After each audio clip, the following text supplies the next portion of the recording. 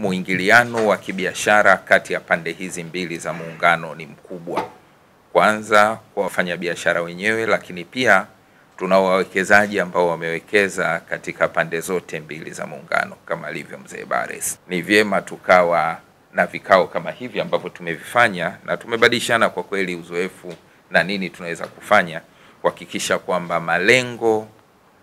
ya kuanzishwa kwa taasisi zetu na matarajio ya viongozi wetu waliotuteua tuwasaidie kusimamia e, uchumi na shughuli za biashara katika nchi yetu yanatimizwa, basi vikao kama hivi ni jambo jema. Hii ziara imelenga kule kule katika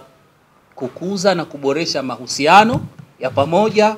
ili kuleta ufanisi na kuwasaidia viongozi wetu wakuu kuhakikisha kwamba biashara inafanyika na wananchi wanaenjoy matunda ya nchi.